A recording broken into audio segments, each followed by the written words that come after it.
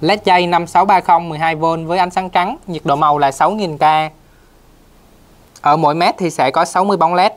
Sử dụng điện áp là 12V.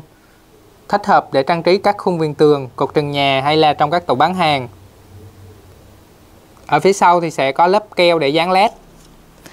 Đèn LED này thì có thể sử dụng nguồn điện trực tiếp 12V hoặc sử dụng thông qua các cái bộ điều khiển LED hay là dimmer. LED dây 5630 đã được kết nối với bộ điều khiển LED.